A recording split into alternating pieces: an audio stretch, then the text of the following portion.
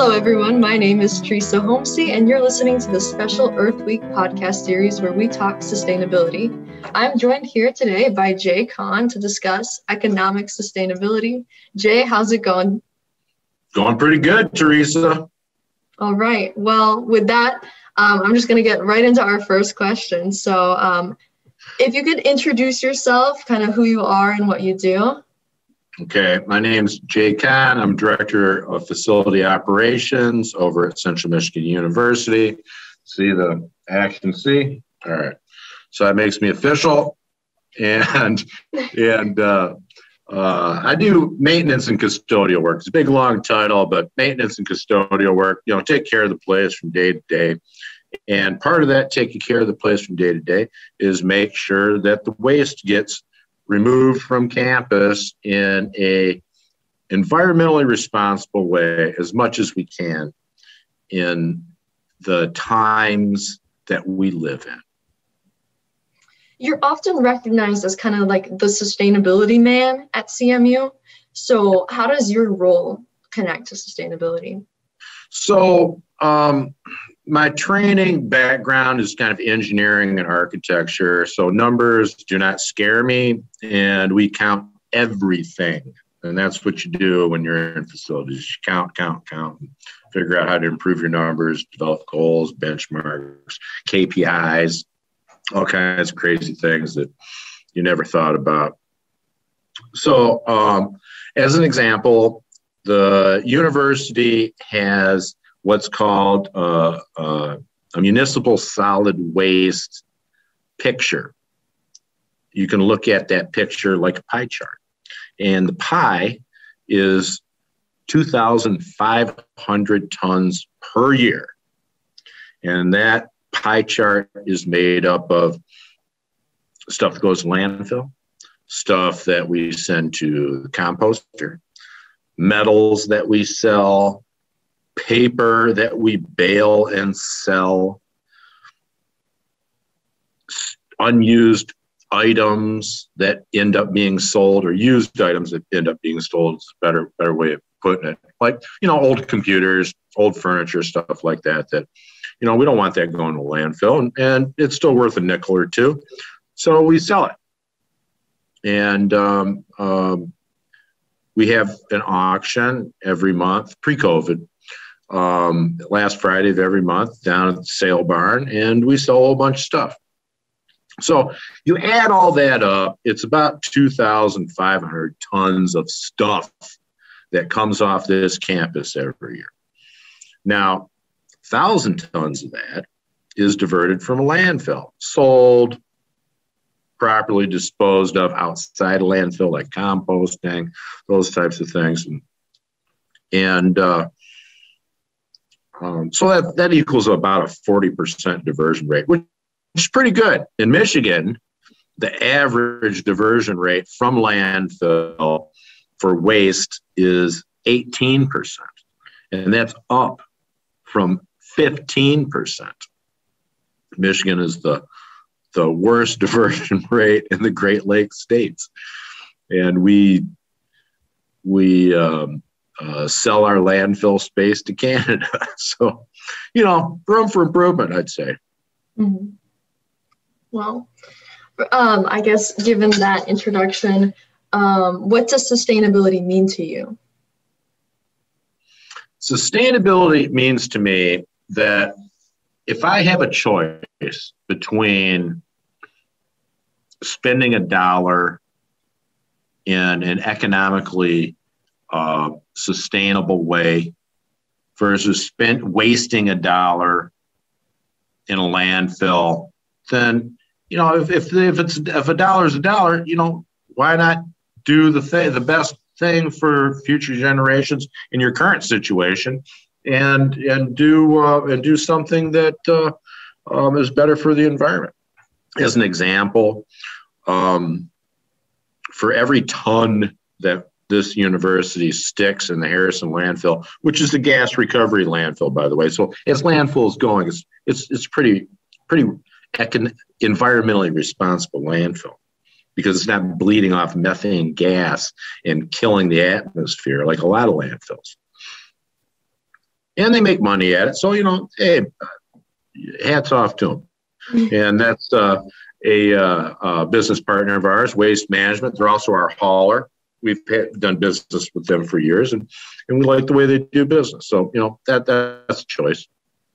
Um, so for every ton that we stick into the Harrison landfill responsibly, um, costs us about ninety dollars.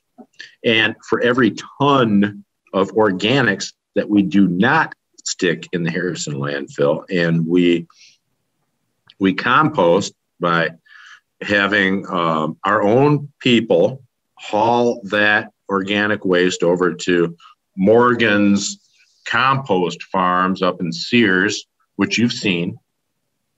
That costs us about $42. And over the course of the year, that saves us about $15,000. It's not a tremendous amount of money, but you know, it, it's an economic decision, right? Even if it was even up, I'd still want to do the right thing and put it in a compost pile, a responsible compost pile, not an illegal landfill. And, uh, and, and that's what we do. So, you know, we look for opportunities out of that 2,500 tons that come off the campus every year. And, you know, there's small opportunities, and we take advantage of the small ones just like we take advantage of the big ones and try to do the right thing with, uh, with our waste. Speaking more generally, um, I mean, so far out of all the guests I've had, you you're definitely coming from the most operational background, and I, I it is part of your title, so that helps. Um, but very technical and operational here. So, do you think that there is always a better way to do something? Um, in in the environmental realm, I, I would say this is that it's tricky. And tricky for a lot of reasons. A lot of them have nothing to do with economics, have to do with political will and culture, as an example. So, um, yourself, and I know you've done personal waste audits because I've seen the videos. Um, you are making choices. And you're not making choices based on really economics. You're make, making choices based on your value system. And so when you're when you're doing your waste audit and you're going, geez, I could have done that different or wow, I, I could have done that different. I could have, you know, that was a Coke can or whatever that I recycled and I was pretty happy about that. But those eggshells were a lot tougher to do something about. And so I threw them out. Plus, I didn't want the cat getting You know, so so it's not always an economic choice. And a lot of it is personal. But I can tell you by looking through the trash which is part of my job, that probably about half of it doesn't need to be there. And you and I have done waste audits before, and I have shown you that half. Now, if you want to talk about government regulation, now in Michigan, there is a very, very small recycling economy, circular economy, as, as, as it were and circular meaning, hey, look, uh, here was a here was something that we grew, and it came back around, and now it's compost and went back in the soil. That's that's kind of a real easy way of looking at it.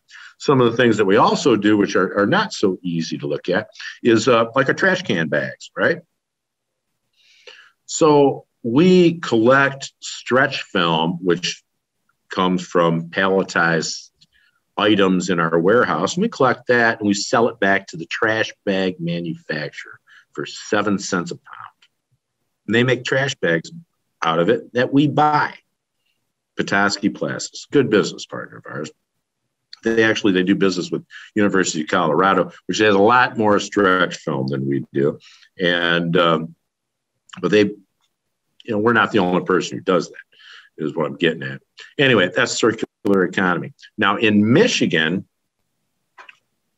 getting back to regulation, is that we have a very, very low tipping fee in this state. So low, in fact, that we are importers of trash. And the surrounding states have much higher tipping fees. So they are exporters of trash to us.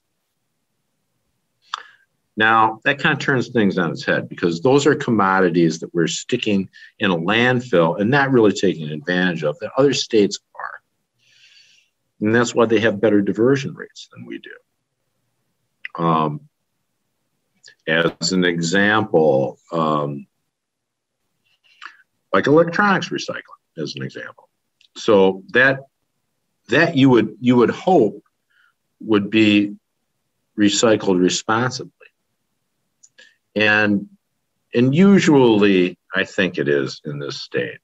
But you you know there's there starts to be an economy with that, and the state whipped on some regulations that said, hey, look, that stuff's not supposed to be in landfill, and you have to divert it.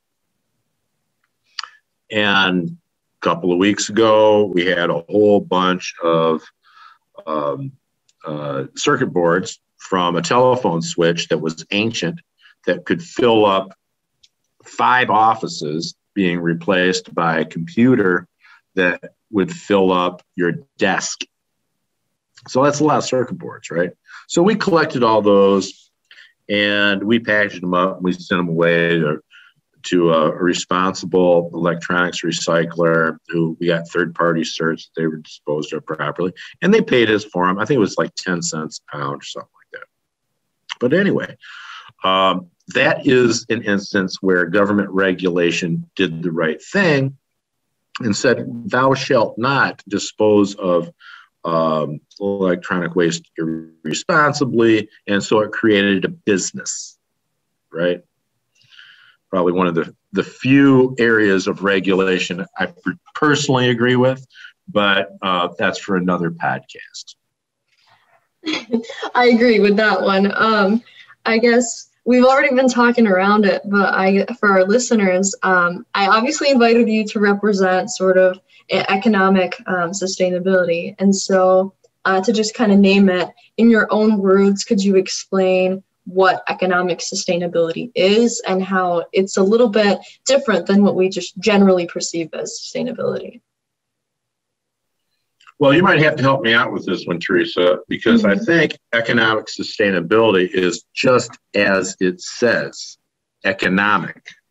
Now, economic meaning not producing, only producing the amount needed to accomplish the goal. That's and not more than what you need. That is an economy of scale. And I, I believe that that's what we're talking about. Yeah. Well, a lot of that's been going on for a long time really i mean if you think of manufacturing because manufacturing you know all the all the little pieces that get cut from oh let's just say our uh, printing press or something like that or some type of food line and it goes back into making the same product that came off the line right now that that's um, that's pre-consumer, right? We didn't sell something and then hope to get it back and make it again. So pre-consumer has been around for as long as manufacturing has been around, frankly. Um, but post-consumer is a little tougher because you have to you have a you have a you have people making choices about what to do with the end product. So in that, the the economy of sustainability, I think it starts to become a value driven question at that point. Once it it leaves it leaves the the grips of capitalism and becomes a part of the cultural experience. Does that make sense? Yeah, yeah. Following me on that one, or am I just? No, no, I understood that because um, I'm listening to you here, and you know we're talking about kind of um, making them. You know, you you started off by saying you know you have a dollar and you can choose how you want to spend it. Um, so for me, I'm definitely, and you you brought this up earlier as well with the waste audit, as to the reason why we make our decisions is sometimes on a personal value basis. That's kind of my connection to sustainability is just it's not so much to me doing whatever's financially the smartest thing. It's doing whatever is going to have um, the best impact on the environment or our society as a whole long term. In my environmental classes, what I've noticed that sometimes sustainability is pretty contrary to whatever's the financially, you know, maybe short term. Um, long term is a different conversation. But how do you how do you consult how do you reconcile those two perspectives? I don't know if do you agree that there can be a disconnect starting there? I think that people are much more conscious about the manufacturing process, the way that people live is has become a science. Home economics. So I think that there is a great deal of hope that as society we just get better and better about dealing with these types of questions. I mean, all I have to do is just drive down 127 and I see I see wind turbines that weren't there 20 years ago or five years ago. I see a recycling economy in, in other states that is starting to take off. I, I, I see students like yourself who are doing personal waste audits. This, I can tell you personally that the student of today is much more environmentally conscious than the student 10 years ago that I hired. And it was it's all fun and games, right? There's a, a little bit deeper knowledge about what the passion is about in the student today than what it was. I mean, you know, did all kinds of fancy tricks 10 years ago to make make the subject matter interesting because there wasn't a whole lot of passion about it. But students today are pretty passionate, gotta say. I don't know if you feel that way, but uh, like like when I was a student many many years ago, you know, we thought we were just kicking ass because we had a 10 cent uh, can deposit. And we thought that we were the best. Well, to find out, we weren't that good, but we thought we were. And now we're just much more, much more. Um, I think you know the information age, if that's what you want to call it, with with social and and the way news is brought into the house makes the world a much more smaller piece, right? And so you're able to connect these dots much more easily. So, so how do I know where my waste goes? Well, there's a lot of ways to find that out now. And you found it out your own self. Um, there's a lot of a lot of information out there. I, I, at sometimes, for me, I get a little bit jaded about about information because it gets spun so much. But anyway, um, I think everybody knows that um, climate change thing, right? There's issues, and even if even if you disagree with climate change, you, you can you can certainly look at what you do with the waste that you have and understand at, at the most basic level what I'm doing is either responsible or not. And and it's like like piling food on your plate, right? If you pile more food on a plate than you can eat, does that make you feel good? Probably not. So those truths have always been true. And it's just that I think that we have ways to act on them now that we didn't have before. Hence, when I started here at CMU, we had a 20% diversion rate. Now we got a 40% diversion rate. I didn't do it. You did it. Yes, Teresa, you did. and students like you and students like you. Because our composting program was a student based initiative 10 years ago in a little tiny pile that hedgehogs got into. And uh, uh, and it grew and grew and grew and so did the hedgehogs. And um, and we ended up making 70 tons of compost ourselves. We weren't even hauling it anywhere then. We built screens and we'd turn the pile i'd have students turn the pile and we'd measure the heat off the compost pile and they would do amazing things and they would take this finished compost and they would use it in these community gardens uh, behind the parking lot over at Theunissen Stadium, where the compost pile was. And eventually, the student run um, project became so big that it developed a life of its own. And now it's part of what we do and saves the university $15,000 a year.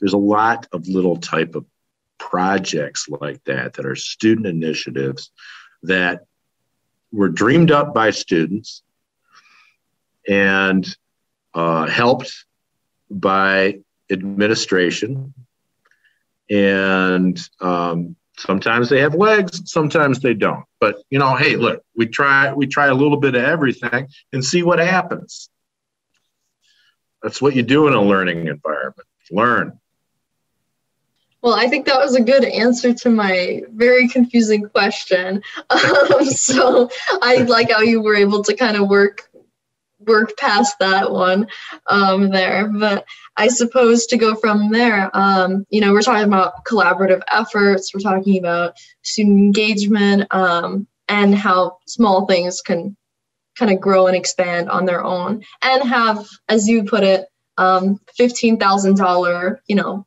benefits to it um, yeah. that may that weren't necessarily the original goal, but kind of right. came out of there. Um, so from there, I suppose, um, who do you think we need to get involved in these sort of initiatives and sustainability? What sort of partnerships should we get? Well, I, I just had a phone call today with Saginaw Chippewa Indian Tribe, uh, county, city, and uh, uh, couple other privates. And um, we're trying to do something together and, and try to do some community um, organic recovery. And it, it looks like it's something that we can do together. So, you know, you have to think beyond the boundaries of your own house, your own work, your own com- internal community, other communities that you're adjacent to. And remember, there, there, there's a whole world that is grappling with the same problem. And they're having success in varying degrees. Go find like minded people and share your experiences with them. And when you do that, you learn from each other. It's the best form of learning. It's the most impactful type of learning. It brings us together as society, as, as de- disparate, desperate societies. You know, they're sprinkled here and there. Brings people from Europe together with people in China, people from China to the United States. And, you know, everybody's looking at, hey, look, you know, I, I, I would like to live in a clean world too, right? And so you know they do it a little differently than we do. And you have a common understanding about how things are done shared experiences learn from each other. It's the best. It's energizing. You're young. You should do that I guess that leads me into my next question. Um, as far as what I should do, um, any advice here? Um, I guess we've you know we've covered a lot of subjects, but from what we've been talking about, what sort of advice would you have for students on how they can get involved in um, sustainability or being being smart? I guess. Follow your passion. That's all you got to do.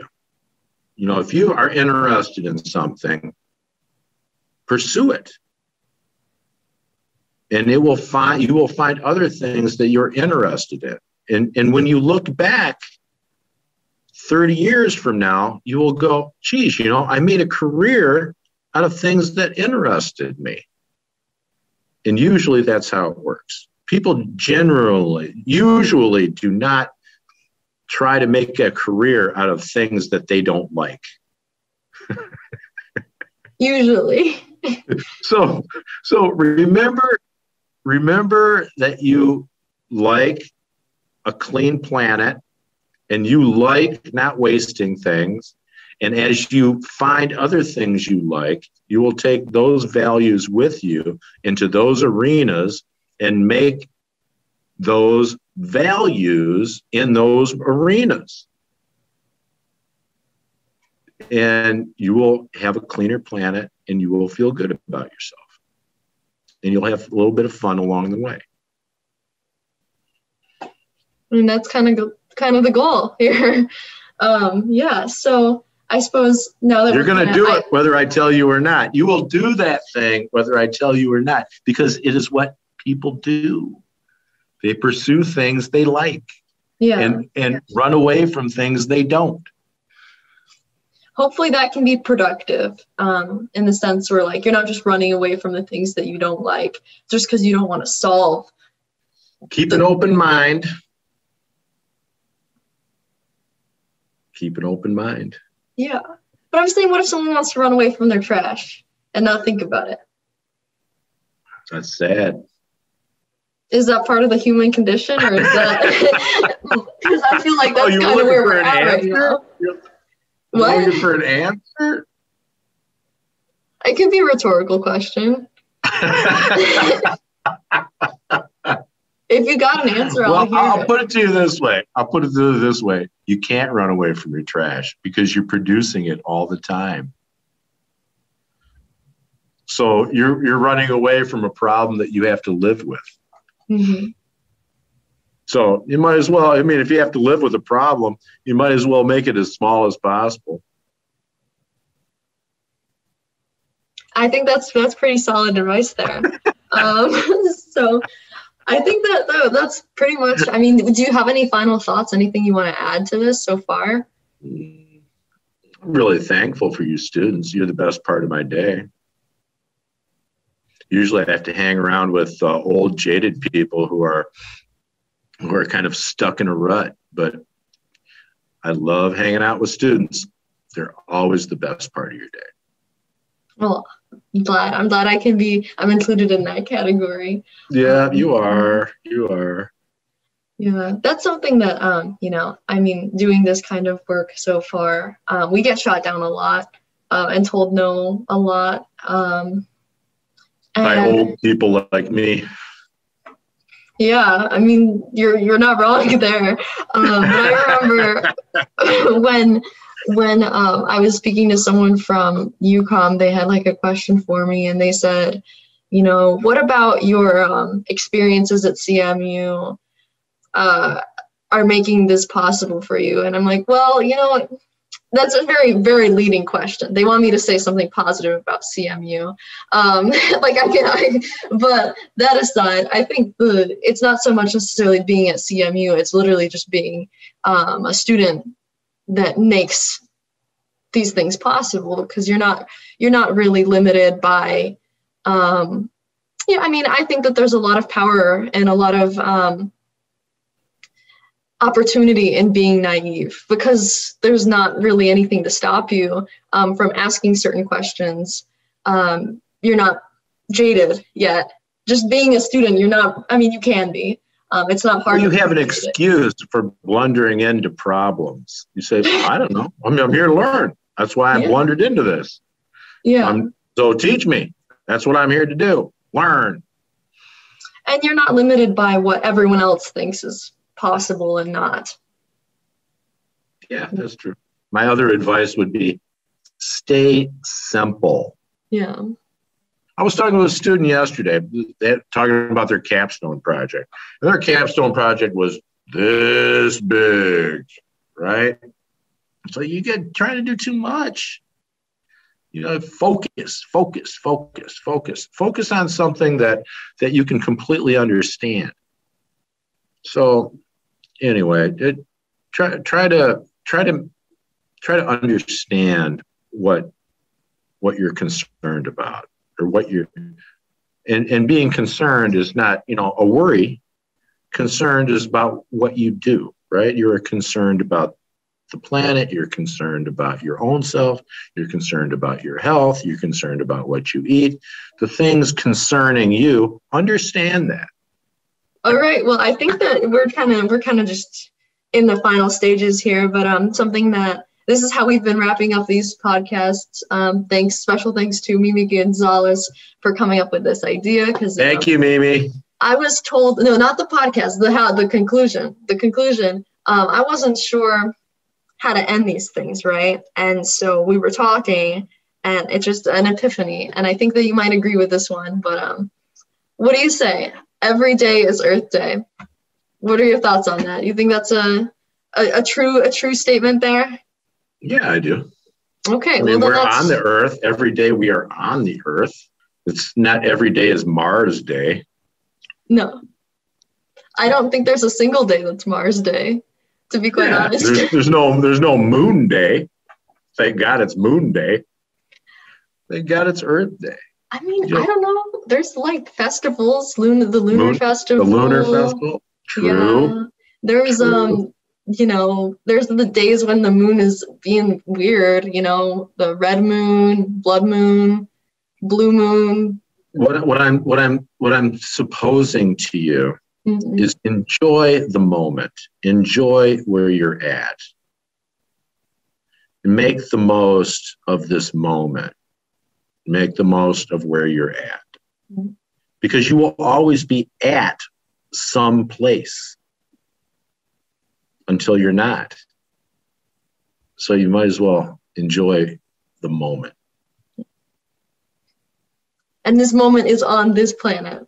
So always, every day is Earth Day, always is Earth Day. And that's kind of how we're wrapping these up. So thank you so much, Teresa. I appreciate the time. Yes, I appreciate the moments time. that we have shared thank you for coming in and um, just speaking about this. I know you were worried about your qualifications, but you did great.